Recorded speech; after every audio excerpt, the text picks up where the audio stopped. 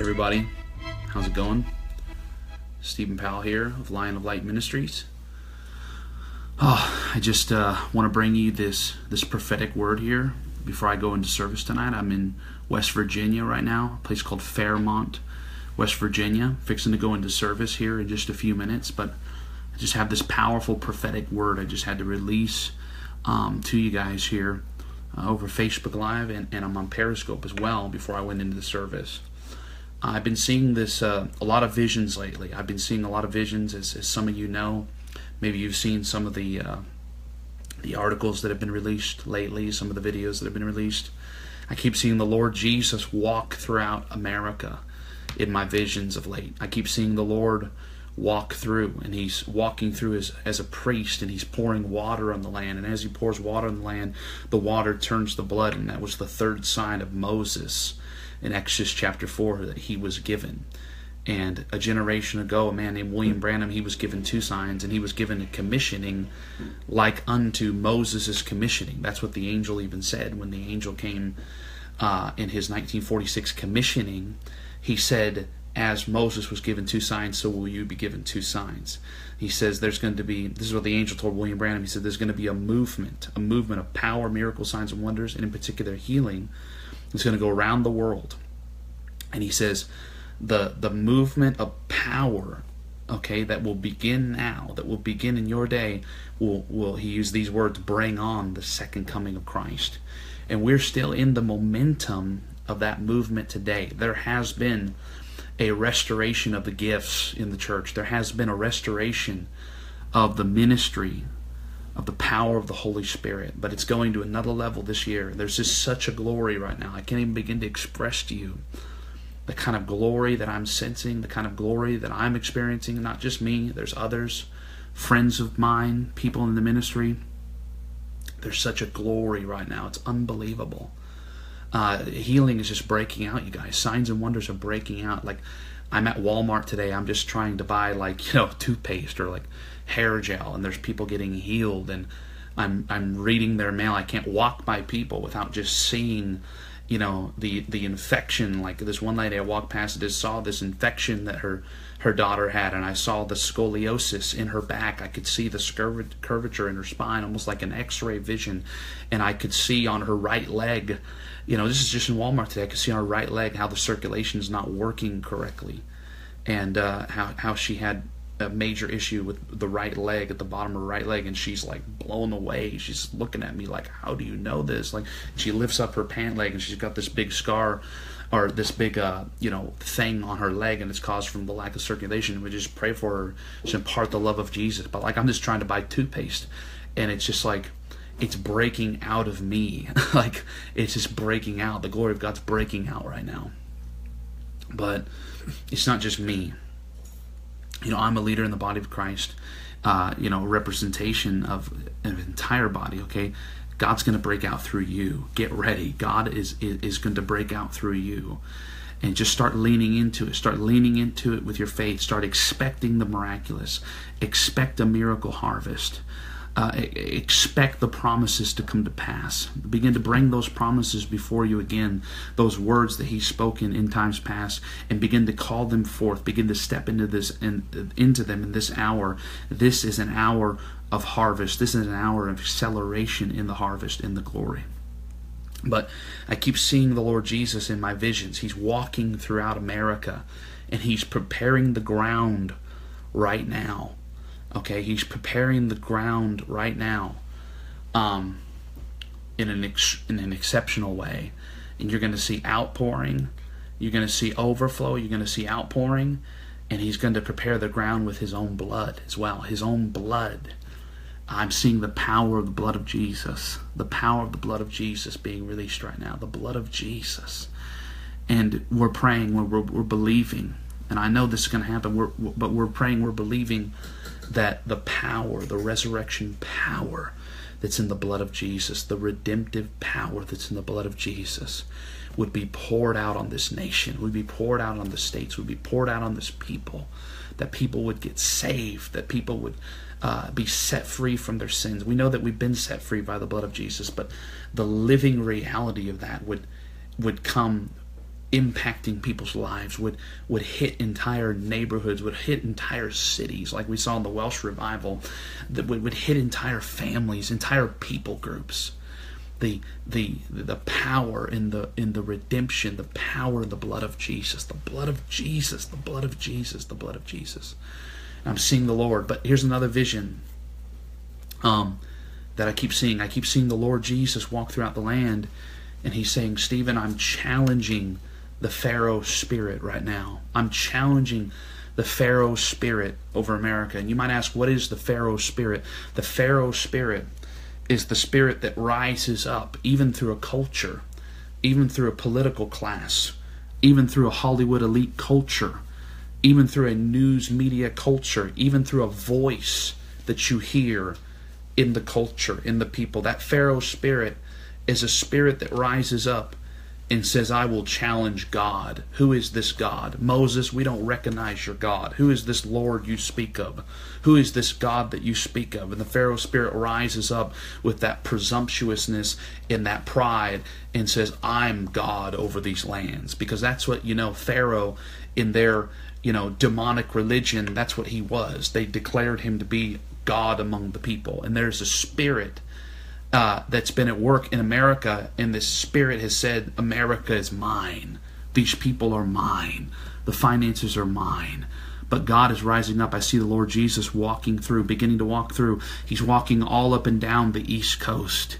He's walking through New York. He's walking through Pennsylvania. He's walking through Connecticut. He's walking down through Washington, D.C. and Maryland. He's walking through Virginia, West Virginia, the Carolinas. He's walking up and down. Uh, I see him on the East Coast so strongly. But uh, I believe it's going to break out all over America. This is for all of America. But I keep seeing him on on these regions here in the East Coast, and he's walking and he's carrying the staff. He's carrying the staff of Moses. Get ready. You're going to see the ministry of Moses come forth in 2017. You're going to see the ministry of Moses come forth.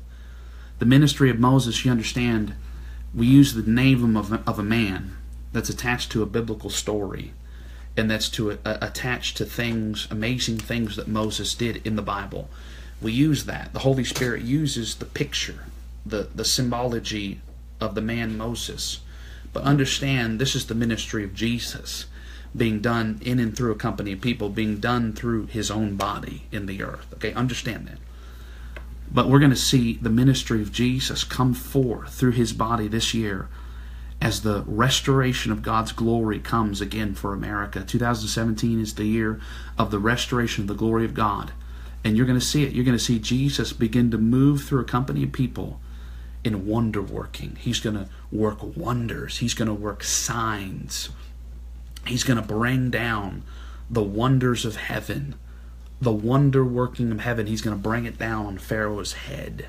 He's going to bring the weight of the glory of God down on Pharaoh's head in this next season, and Pharaoh's head's going to bow. The Bible says every knee shall bow, every tongue shall confess. And we're going to see it. We're going to see a humbling of that Pharaoh spirit this year and we're going to see a breakout of signs, wonders, and miracles. But wonder working, the Lord says, wonder working. Get ready for wonders to be worked before your eyes. Get ready for the type of wonders to be worked that will not be able to be ignored. They will not be able to be counted out. They will not be able to be explained away and and wrapped up in a wad of controversy and set aside and just ignored by the news establishment. Get ready, the type of wonders if you had a revival break out in your church and the dead were being raised every night in your church, even CNN would not be able to keep that out, would not be able to ignore that. And the Lord says, don't be afraid of the uh, the misperception, the misunderstanding, the false uh, representation. Don't be afraid of these things. When the Lord begins to work on, it begins to move on you, church, begins to move on you, pastor begins to move on you, evangelist, when the Lord begins to move on you with this wonder working anointing, don't be afraid of being misunderstood. You're going to be misunderstood. You're going to be misrepresented.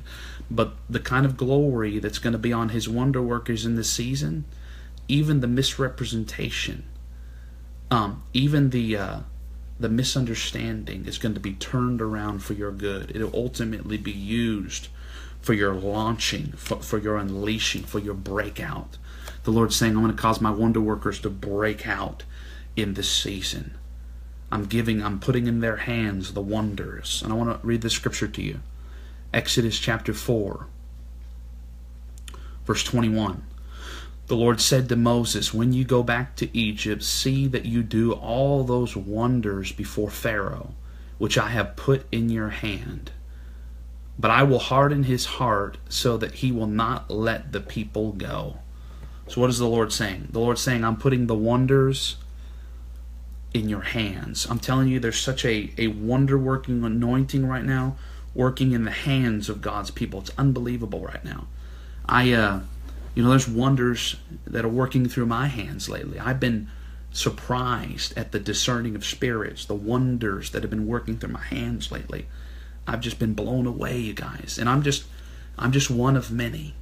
Okay? I'm just one of many. I believe that whatever God uses me in, he's he'll use me as an example. He, he'll use me as someone to just display something, to demonstrate something but that any, many others would be encouraged and would rise up in the same anointing, no matter what field you're in. But I was just, uh, you know, driving up to into the parking lot for the meeting last night, you guys, and I got out of the car and, and I met a lady. There was a lady, and I shook her hand. I said, "Hey, my name's Steven. How how you doing?" I was just walking into the meeting, and the moment I grabbed her hand, I felt like fire shoot through the nerves of my hand, and I said, I, I mean, without even hardly saying any, anything to her, I said, You have a, a problem. Um, it's probably fibromyalgia and it inflames your nerves. Is that correct? And she said, Yes. She was like shocked. I was like, I bind that spirit right now in the name of Jesus. And uh, I just, God began to work his wonders there. Right in the parking lot. I hadn't even got into the meeting yet. That lady, I believe, was healed last night. She said she didn't feel any of that pain, any of those symptoms anymore. And uh, just such powerful discernment, wonder working, but even in the hands. Um, that I've been able to discern evil spirits lately in my hands. Uh, there's an itching that comes suddenly um, when I feel the demonic and I break that power by the blood of Jesus and, and the power of God's just released, I can feel uh, the heat in my hands. I can feel the healing anointing in my hands. And I can tell the, the moment someone's being healed. The moment someone's being healed. I laid hands on a, a precious, you know, she looked to be about 10 years old, 12 years old, something like that, girl last night. And she was going deaf in both her ears. And I could feel the fire of God just flowing from my hands I could feel it. And uh, her ears just began to open. I mean, there was no, you know, hooping and hollering, you know, for, you know, for, for forever. You know, there was no, ah, and I, you know, it's just the fire of God by the glory. And this girl just began to, tears began to stream down her eyes. The tears just began to stream down her eyes. She said, I can hear. I can hear. And that was last night. The miracles are easy right now. The anointing is so powerful, it's so strong. Um, I'm just so encouraged, you guys, by what I'm hearing right now, by what I'm seeing right now. God is moving in His glory. Amen. But God is challenging just a couple of prophetic bites here for you, okay? And then I got to go. God is challenging the Pharaoh spirit in 2017 over America. Satan is not God in America. Jesus is Lord. Jesus is Lord. Jesus is King in America. There'll be a demonstration of that.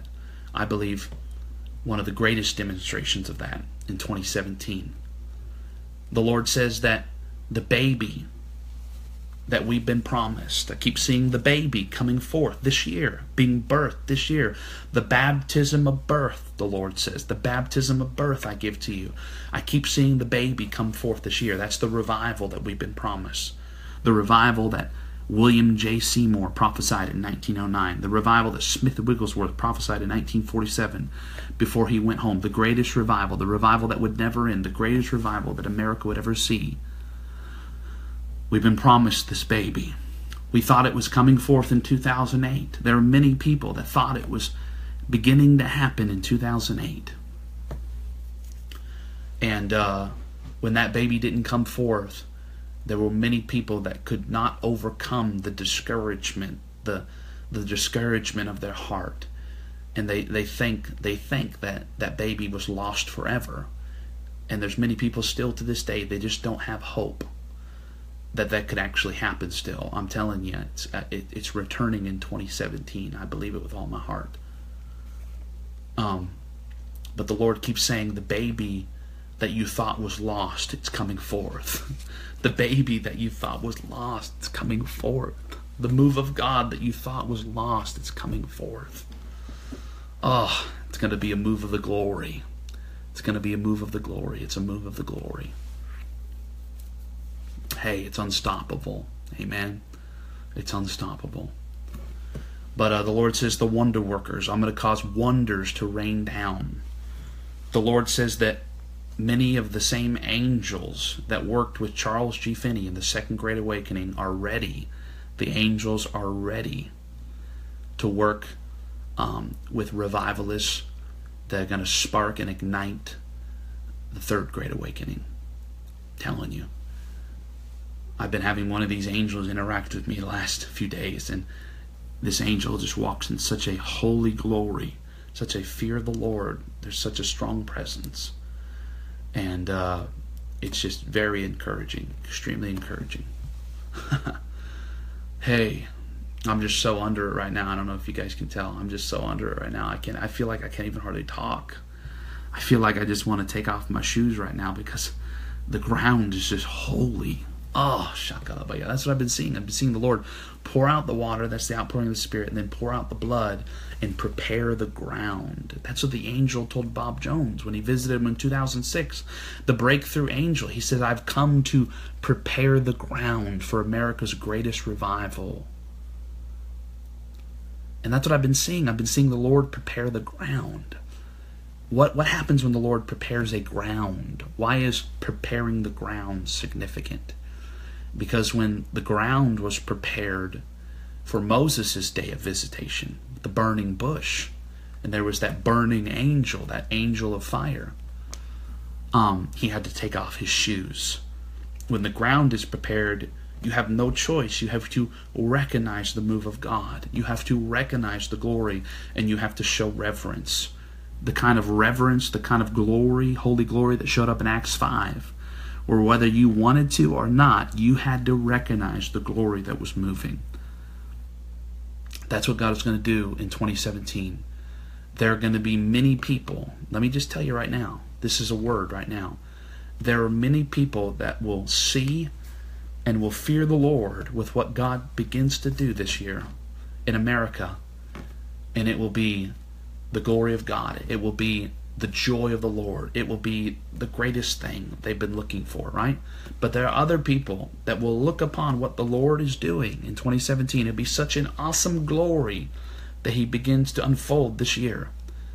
That people that will see and do not understand the Lord, do not understand our Lord, and do not understand the work of His glory, they will see and they will fear and they will tremble and they will be in awe of our God. But for sons and daughters that have been prepared, it won't be, you know, the terror of the Lord. it will be the greatest presence for intimacy, the greatest presence for a baptism into the flame, a baptism into the power. Mm. So I want to ask you to pray. Um, pray for us. Pray for me. Pray for my friend Todd Bentley. Um, pray for others. There's many others you know, um, that we're connected to. I've been interacting with Jeff Jansen lately, and I believe he's another just incredible general of revival, and awakening, and glory. And we need you to pray for us. I want you to pray for my brother Todd Bentley. God's going to use him powerfully in this. I just saw Amy Shamp on there, I believe. I want you to pray for Jesse and Amy Shamp. Uh, they're going to be used powerfully in this. They're being used right now. I want you to pray for Jesse's brother, Charlie. He's being used powerfully in this. Munday Martin. Pray for some of the, the new ones that are coming on the scene and pray for the generals and pray for the revivalists right now. Because what God is, is going to do is going to be so precious, it's going to be so powerful, and we don't want the enemy to have any influence in this. But I, I believe this move's unstoppable. I believe no matter what the enemy does, he's not going to be able to stop this glory that God's releasing for America and for the nations in 2017. Hey. Whew. Wow, such a heavy glory. So I'm to have to let you guys go. I got to go to service right now and try to function if I can. I mean, this could be one of those nights where I just lay on the carpet and just let God do what He wants to do. I mean, it's just so powerful right now. But just bless you guys. Be encouraged. If you want to find out more about my ministry, you can go to www.lionoflight.org. We have uh, some fresh articles, some fresh writing that we've released, fresh prophecy. Um, check out our website. The, the third outpouring, uh, excuse me, the third sign of outpouring for America, which has now been featured on Elijah List, Spirit Fuel, as well as Charisma News over the last few days. Um, that's on our website. It's right there. If you go to www.lionoflight.org, you can check out that new writing. There's also some new videos on there as well that will bless your life, help you in your spiritual walk. Some miracle testimonies and some prophecy videos on there. And we're going to be producing much more video content coming up. We're going to be releasing videos, new videos every week to help you with your spiritual walk, encourage you, release the word of the Lord, all that, all that good stuff. So stay in tune. Check out our website and uh, we'll be broadcasting the service as well tonight too. So tune in. It'll probably be on Facebook Live though. For all you watching on Periscope, good to see you guys again. I know I haven't been on in a little while, but the, the, the, the service tonight will probably be broadcast on Facebook Live. So just check out our Facebook Live tonight and tune in and join us. All right. God bless you guys. We'll talk to you next time.